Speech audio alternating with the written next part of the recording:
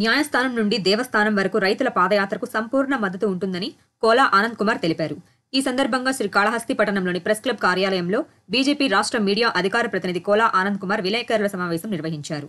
ఈ సందర్భంగా ఆయన మాట్లాడుతూ భారత రాజ్యాంగం సృష్టికర్త డాక్టర్ బిఆర్ అంబేద్కర్ అరవై ఐదో వర్ధంతి పురస్కరించుకొని నివాళులర్పించడం జరిగింది. డాక్టర్ బిఆర్ అంబేద్కర్ రచించిన రాజ్యాంగం ఆంధ్ర రాష్ట్రంలో అమలు కావడం లేదంటూ ఆరోపించారు. నివాళులర్పించడం మరి అదేవిధంగా ఆయన రచించిన రాజ్యాంగంలో. ఈరోజు ఆంధ్ర రాష్ట్రంలో జరుగుతున్న పరిస్థితి. అమరావతి రాజధానిగా ఉండాలని ఆ రోజు ప్రతిపక్ష నాయకుడు ఉన్నటువంటి జగన్మోహన్ రెడ్డి గారు. మరి ఆయన కూడా అసెంబ్లీలో తీర్మానం రోజు ఉండడం ఆయన వీడియోలు కూడా మనమంతా చూసాం జగన్మోహన్ రెడ్డి గారు ముప్పై వేల ఎకరాలు ఉంటేనే రాజధాని అనేటువంటిది ఏర్పడుతుంది బాగుంటుందని చెప్పి స్వయంగా ఆయన చెప్పుకోవడం వారి మద్దతు కూడా ఇవ్వడం మనం అందరం కూడా చూసాం. మరి ఈరోజు వీరు అధికారంలోకి వచ్చినాక అమరావతి రాజధానిగా కాదు ఒక అసెంబ్లీకే పరిమితము.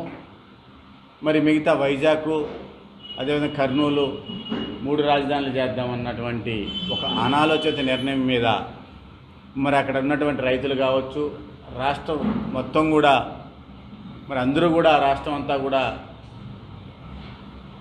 అమరావతి రాజధాని ఉండాలన్నటువంటి నిర్ణయం కూడా మనం చూసాం కానీ దాని మీద ఒక ఉద్యమం గత ఏడు వందల ఇరవై రోజులుగా అదేవిధంగా ఈ పాదయాత్ర ప్రారంభం ఒక ముప్పై ఐదు రోజులుగా ముప్పై ఐదు రోజులుగా జరుగుతూ ఉంది.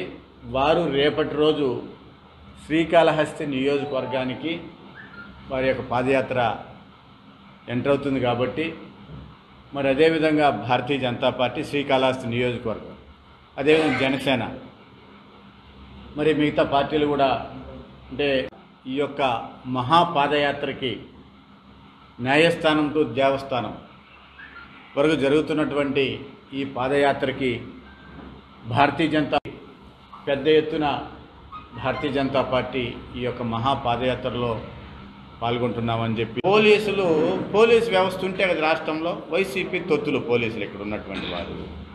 వైసీపీ చొక్కాయలు కండవాలు వేసుకొని పోలీసులు ఇక్కడ ఉద్యోగాలు చేస్తున్నారు ఆంధ్ర రాష్ట్రంలో. రేపు ఇంకో కేసు అవుతుంది ఎల్లుండికి వంద కేసులు పెట్టినా పాదయాత్ర ఆగదు వెయ్యి కేసులు పెట్టినా మా మద్దతు ఆగదు. దీంట్లో ఎలాంటి సందేహం లేదు.